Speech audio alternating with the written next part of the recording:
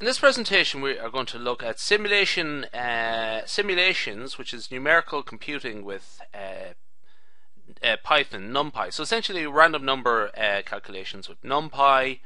And what we're going to do here is look at a, the counting problem. So I'll start off with the most uh, commonly encountered counting problem, and it's called the birthday paradox. And the question is, how many people must a group contain in order for there to be a better than 50% chance that two members of the group will share the same birthday? And in this, we'll just sort of uh, base it on the probability, uh, uh, base it on the assumption that all uh, dates of birth are equally uh, probable. That's actually not exactly true. Uh, Christmas, there's a you're less likely to be born on Christmas because it might they just I'll save that for another time. Anyway how many how uh, many would suppose that the answer is just half of the number of days in the year or roughly 183 okay? But that is if you put a bit more thought into it you'd sort of say well actually that's not what we were asking. That's the correct answer to a different question. How many people do you need to have a uh, a party for there to be a 50 better than even chance or better than 50-50 chance that one of them will share your birthday Okay, so it doesn't actually say which pair of people in the group. Okay, so if you want to be specific, oh, it's your uh, birthday, then you know it's 183. But if it's no, you're not being so uh, strict about it. Uh, then it is well. Actually, I'll just cut to the chase here. The answer is you only need 23 people. So if you have 23 people in a room, the chances of them uh, of two of them sharing the same birthday is actually greater than 50-50, okay? And even if you have, a, like, let's say about 70 or 80 people, the chances of two people sharing a birthday uh, rockets up to about 90. I'm not quite sure what it is. But anyway, that's the counting problem. Now, bit more of a fun example. Uh, you can actually look at that later on, but actually I'll go straight to this one here.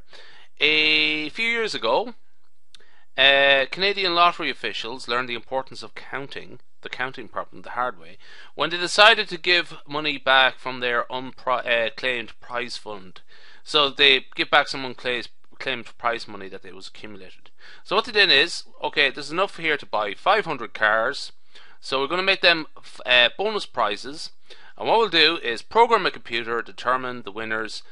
Uh, so 500 randomly selected five number 500 numbers from the list of 2 2.4 million subscriber numbers. Okay. So pick out 2.4 million numbers, just pick out 500, and that'll do the job.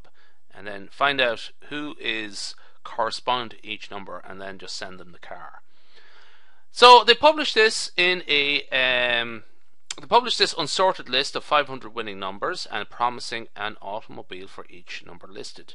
Now what happens is that some guy said, pointed out, I've actually won two cars. My number came up twice.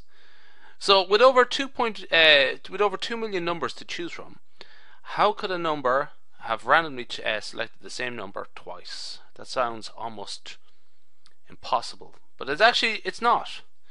Uh, when pulling out a number, it takes more than um, a, uh, it takes when pulling out from a pool of 2.4 million, as what as what was going on here. It takes more than 500 numbers for there to be a great and even chance of a repeat, a duplication okay? But if there are 500 numbers and you're randomly selecting 500 numbers from 2.4 million there's still a chance that the same number might get selected again. Okay? And so uh, it, this is what they call sampling with uh, uh, with replacement. That if you pick a number it sort of can be picked again. Okay? It's so um, what happened is that they actually asked him to give his car back but he said no fair enough. Now, what I'm going to do here is actually, I'll tell you what, I'll just move straight away now to the IPython notebook I'm doing this on.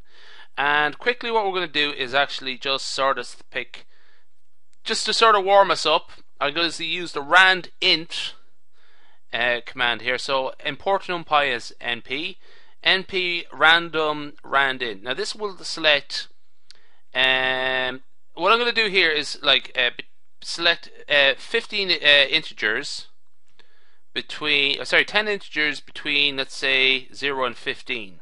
Okay? So that means 0 can be uh, uh, picked, but uh, 15 won't be picked. So any number between 0, essentially the, the, uh, the values will be here between 0 and 14. Okay. Uh, because I've specified 15 as the upper limit here, that means the highest possible outcome is 14. It's just a wee bit confusing. You notice here that actually, uh, now this is a very sort of small example, but it just to identify this idea of sampling without replacement. 14 actually got selected here in the fifth draw, but it was got uh, selected here on the sixth draw again now that's because there's only we're picking uh, uh, equally each draw is equally likely, and you know there's nothing to um, essentially. In fact, zero got picked twice, eleven got picked twice, fourteen got picked twice. You know this is what they call sampling uh, with replacement. That once a number has been um, selected, it can be selected again at later draws. Okay. Now, what we're going to do is uh, make this much bigger. So I am going to pick out, let's pick a, I'll just take it nice and small for a second. And what I'm going to do here is actually, I'll even make it smaller again. From um, 0 to 999, put in the 0 there, it's a default setting, but I might as well put it in. We're going to pick out 10 numbers. So uh, let's run that and see what happens. Okay, those 10 numbers between 0 and 999. 1000 will not actually be picked, but 999 will be picked. Okay, easy enough. Now, what I'm going to do is call that sample. Okay, and let's just apply the name sample and to find out how like this is the length command which is just tell you how many values are in it? Len simple enough that there's 10 there. Now what I'm going to do also is actually print out the unique values here. So if there is a duplication let's say uh, the duplicates won't be printed okay? Now in this case the they will not be any duplicates because it's quite a large data set. So we pick out the original 10. Now I'm going to change this down to uh, from 0 to 20. I'm going to change that down and I'm going to pick 10 values from that. Sorry, I'll do that here. Okay. And we'll print out our sample. and we'll also print out the length of the sample. Print is just a sort of command you so that if you're printing out multiple things uh, from the same cell in IPython notebooks or Jupyter notebooks, just handy command.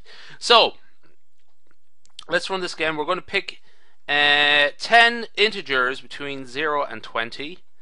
Okay. And let's run that.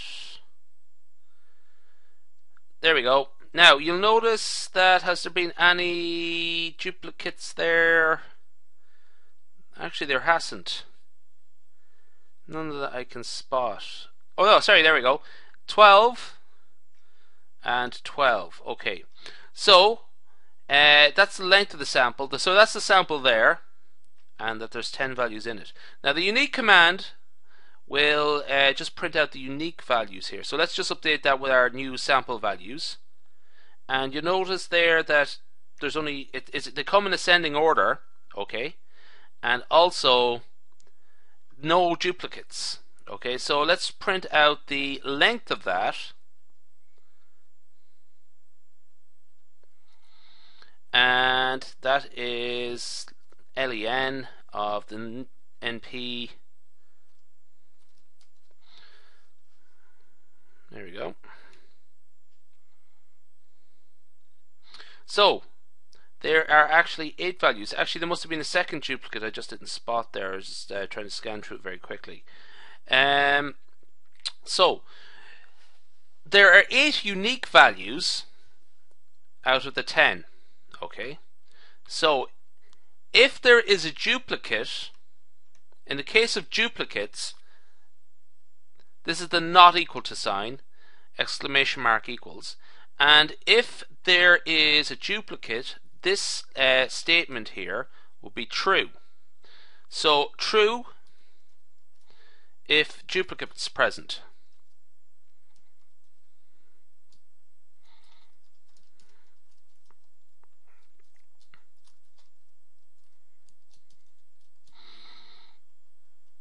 So let's run that now. So we know in this case that there is going to be, so it's true. Okay. Uh, we can also integerize that to give us an outcome of 1 uh, for this particular example. So if it's true, we just turn it into an integer for 1. This is handy for a for loop problem. Okay.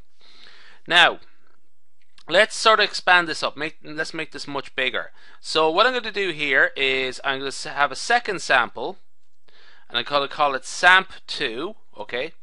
And what we're going to do here is pick 500 numbers between 0 and 100,000. Okay, I'm just sort of scaling the problem down a bit. Okay, and but essentially, you know, uh, just make, you can make that 2.4 million if you want. But it just I'm just for the sake of time, it's already in 11th minute now. I'm going to uh, turn that down a bit just to make it speed things up. So, is there any uh, duplicates present? Okay. So let's run this, and if there is a duplicate present, we're going to get a 1 here. Okay. There is a duplicate present. Let's just run it again. Uh, oops, gone too far there. Let's just run it again and see if there is another duplicate present. Oh, actually there is. So, there is a duplicate present uh, in this sample 2. Now, I've just run it again and there's no duplicate present. So essentially there's going to be either, if there is a duplicate present, there's going to be a 1. If there's no duplicate present, there is going to be a 0. Okay, so what we're going to do here is we can run this experiment here, and what we're going to do here is define a function. Okay, now it's going to have an input here, and that's how many values. Uh, so it's essentially how many values there are going to be. We can uh, how how big is the pool? Okay, so previously it was like hundred thousand, and uh, how many? What's the, the size of the sample that we're drawing from? So this is the sample size. This is the popula- or the population size. This is the sample size. This is the sample that you're drawing from. Uh, drawing. Uh, you're drawing from this population, and what this will done, it'll do. What this uh, um, will do is it will check to see if there are any duplicates. And if there are du any duplicates in your sample 2 it will uh, return the answer 1 otherwise it will return the answer 0 so it's just sort of turning into a function what I have used already. There we go.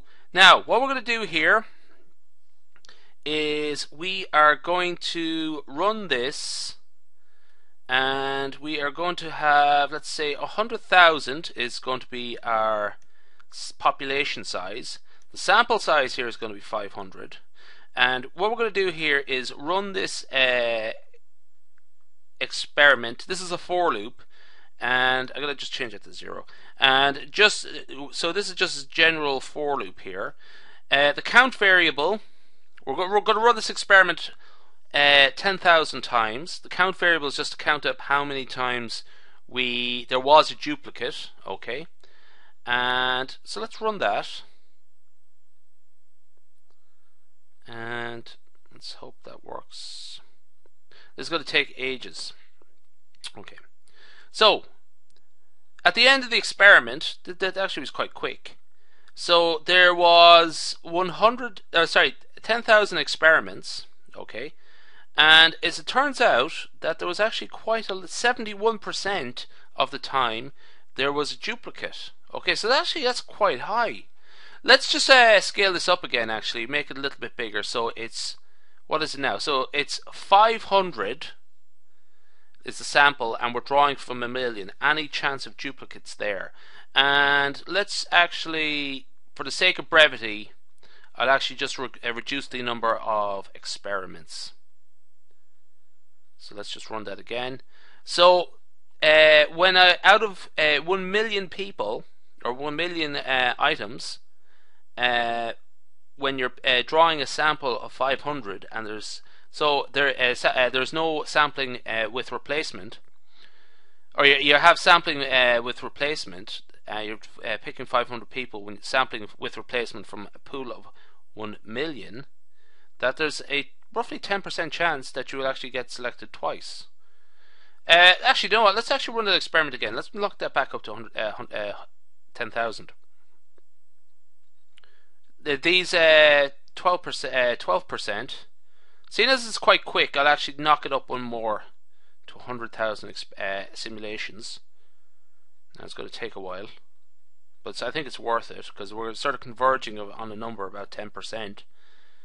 And yeah, it's actually quite uh, close to 11 uh, percent for that's when you have it for 1 million people. Actually, let's run the experiment precisely as the Canadian experiment is. Now, by the way, the, I'm just just a sort of there's a little uh, bit of the uh, with the randint command, it's just a little bit tricky as how how how it works. Uh, but correctly, I should have 2.4 million and uh, 2.4 million and one. There we have it. There. Uh, when you're picking from um, the 511 times out of how many? So it's about half percent. Okay according to this. Let's run it one more time.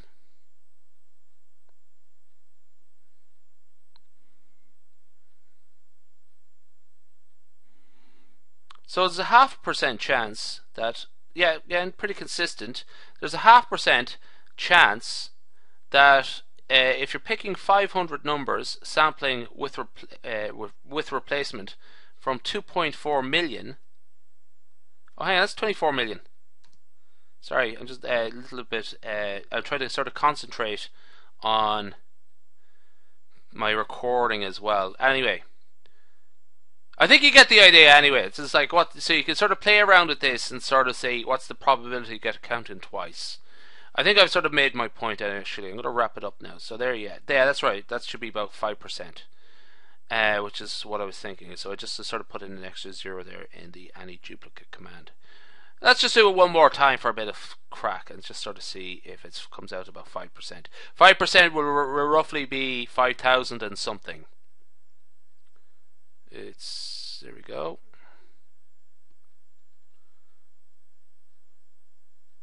Uh, you see that it's actually consistently coming out at about 5,000 out of 100,000.